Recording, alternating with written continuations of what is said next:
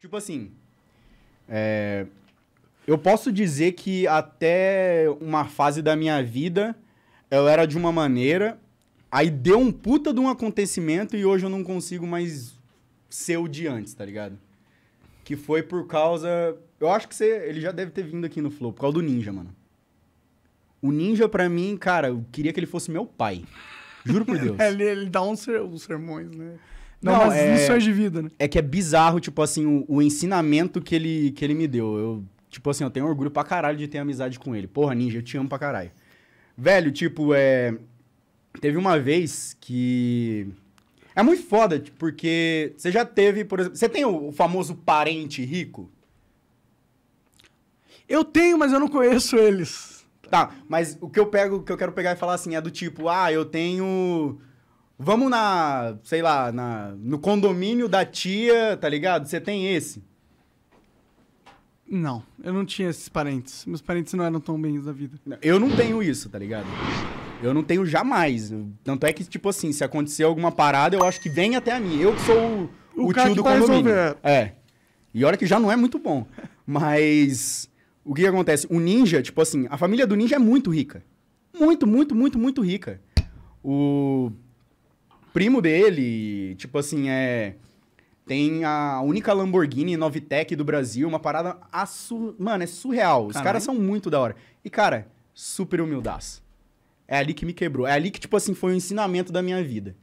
Porque teve uma vez que eu fui fazer um FIFA Strip lá em Balneário Camboriú. E aí, dando umas ideias loucas, eu peguei e falei assim, ninja, tal, não sei o quê. Tô querendo ir pra Balneário. Tem uma... Você sabe onde aluga lancha tal? Ele, mano, a gente manda em Balneário. Eu, como assim a gente manda em Balneário? Ah, a gente tem Lamborghini, Ferrari, não sei o quê. Tem lancha, tem o quê? Você precisa do quê? Eu, Caralho. tá. Eu falei, tá, eu preciso de uma lancha. eu vou arranjar umas duas, três meninas ali. Que, tipo assim, a gente consegue desenrolando. Depois eu preciso explicar pra vocês que eu tenho um... Não, é selecionado mais ou menos muito a dedo, minuciosamente, a- as meninas do FIFA. Entendi. Eu nunca coloquei nada... Quais são os errado. critérios? Cara, primeiro, obviamente, infe- obviamente, Influência. infelizmente, não, nem influência. Hã? Porque eu tenho muito orgulho de pegar e falar isso que o FIFA ele pegou e mudou muita vida de uma galerinha aí, mano. De verdade. A gente tem uns cases aí de umas meninas absurda que antes não, não sabia o que fazer com dinheiro, não sabia o que, que ia fazer da vida e hoje a pessoa tem um direcionamento e tá bem pra caralho. Mas qual que era os mais ou menos requisitos? Infelizmente, é Aparência? aparência e posicionamento. Ah, eu não vou, por exemplo, pegar um. convidar uma garota e tal, uma mulher, que no mesmo tempo ela vai estar gravando aqui junto comigo e depois ela, sei lá, vai se envolver em 200 mil polêmicas, o caralho, depois vai vir no meu vídeo, tá ligado? Então, não, não, nunca isso, nunca isso. Então, tipo assim, a gente fazia uma pesquisa minuciosa, aonde que ela, tipo assim, o que ela se comportava, qual que era, tipo assim, a personalidade dela, se ela era fácil, difícil, se já teve problema. E basicamente era mais ou menos isso, tá ligado? Pra gente saber se a menina era gente boa. E, pelo amor de Deus, se ela não conseguisse. Ah, o problema a menina não consegue falar. Nossa, fudeu, né? Ah. Entendi. Vodka, uísque no começo, daqui a pouco tá falando pra caralho. Eu falei, "E agora, vamos começar a gravar. Então, era isso. E aí, nesse dia, a gente pegou uma lancha, pegou o marinheiro e tal, e, cara, foi maravilhoso. Fomos, gravamos, e depois eu fiquei na casa do ninja, do, do, do primo lá dele, do bagulho lá, do, do tio lá dele, sei lá. E, cara, mano, é, é bizarro lá, porque os caras são tão ricos, mas tão ricos, que ele tem uma sala que chama calabouço. Eita. Que é um bagulho, é tipo um, é tipo um dark room, só que não rola essas putaria. Cara, é fechado de parede a parede inteiro de uísque. Mano, ali, ar-condicionado torando no máximo, tapete preto, tudo preto tal, não sei o que. Ali, só resenha. Porra, conversando tal, muito tranquilo, tá ligado? De boa. Tá, tem o casalzinho ali, beleza? Ele esquece de pegar, vai lá pro quarto, tá ligado? Aqui a gente vai resenhar. Top, fui, curti. E no dia seguinte, Mano, eu nunca tive experiência de ter amizade rica, tá ligado? Eu conheço hoje um monte de gente. Graças a Deus, tipo assim, eu não sou tão rico no YouTube. Mas o que eu mais tenho é amigo. Então, tipo Amigo é assim, muito melhor que qualquer dinheiro possível, mano. Cusão, eu tenho um monte de amigo milionário que eu nem sei. Pode ser um fã teu. Não, mas eu falo, tipo assim, tete a tete. Amigo. Outro dia eu tava conversando com um brother. Do nada ele me solta assim: ah, meu avô é redator e escritor de novela da Globo e tal, não sei o quê. Eu falei, porra, que da hora tal. Mas, tipo assim, eu conversando com ele faz um ano e nem sabia, tá ligado? Essa é minhas amizades. Eu não, não vejo a pessoa. Não, eu não vejo O, o que, o que além pessoa da tem. pessoa. Nem fudendo. E aí, porra, tava numa casa rica, tipo assim, os caras. Dá pra ver se caiu uma câmera, por exemplo, dessa aqui, os caras. Porra, se machucou? Não ia perguntar, caralho, caiu a câmera. tá ligado?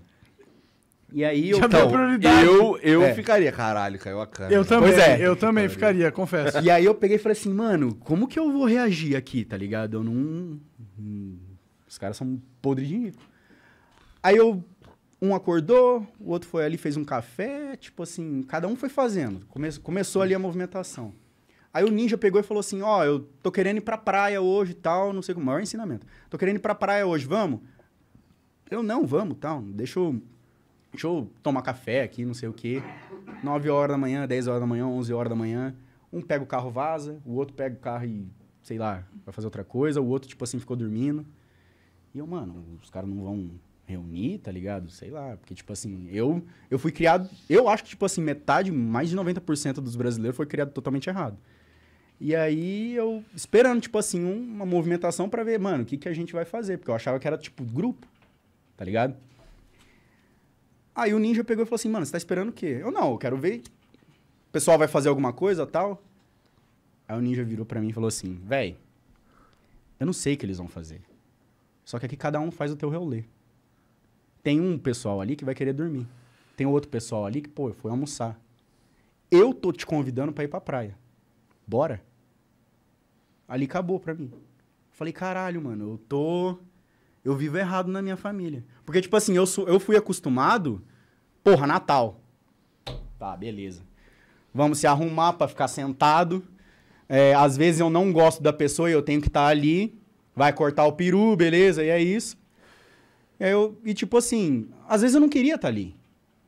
E ali eu vi que o ninja pegou e falou assim, mano, aqui ninguém precisa estar obrigado aqui. Aqui cada um vai fazer teu rolê. Só que chega uma hora que eles se sentem confortáveis o bastante, por exemplo, da Natal, não precisa estar aqui, mas eles ficam. Caralho, aquilo ali abriu minha cabeça. Nunca mais, tipo assim, eu fui, é... Sei lá, eu... Hoje eu tenho uma outra cabeça por causa disso. É bizarro. É O bizarro. Ninja é foda mesmo. Ele tem umas paradas que ele fala que. Tá, ele tem uma sabedoria que a gente não tem, tá ligado? Ele realmente tem essa porra aí, realmente. É foda. É foda. Talvez seja porque ele foi criado numa família com mais. Tipo, diferente da nossa, tá ligado? Que.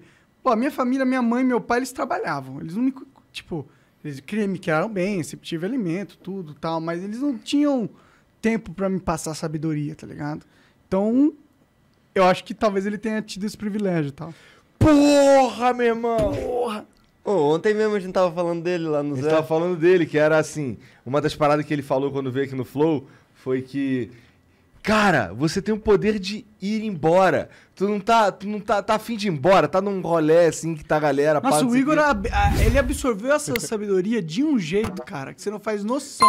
Cara, Eu fiz isso com ele. é? Eu tava num rolê na casa dele, e aí, tipo assim, eu vi que não bateu a vibe. Eu simplesmente fui embora. Depois que ele pegou, ah, cadê o Aron? Ah, foi embora. Ah, tá. Mas eu não ia pegar e falar assim, gente, tô indo embora pra fuder o É! Só Exatamente, exatamente isso que ele falou. Ele falou, cara, você não tem que baixar a vibe de todo mundo porque É. tu quer ir embora. Tu vai, só vai embora, só. Quando os caras se ligar, tu já foi embora e tu não fudeu a vibe de ninguém, pô. Aí o caralho. E tu não fudeu a sua própria vibe, tá ligado? Se na hora que você vai embora, você fala assim, ah, tem que dar despedir todo mundo. Já baixa a vibe, tá ligado? Se só vai embora, só vai embora. Acabou. Mano, mas a gente é acostumado a umas Esse é paradas. Esse foi o melhor ensinamento que eu recebi na Sim, minha vida. a cara. gente é acostumado a umas paradas, tipo assim, que é meio que automático, que não deveria ter, tá ligado? É. Porra, por exemplo, tá, a gente tá aqui conversando. Porra, não tô achando agradável, porra, tem que vazar, não vou fingir costume, saca? Sim, vai embora, foda-se. Só que não, a gente acostumou, não sei se foi Brasil ou mundo, não sei.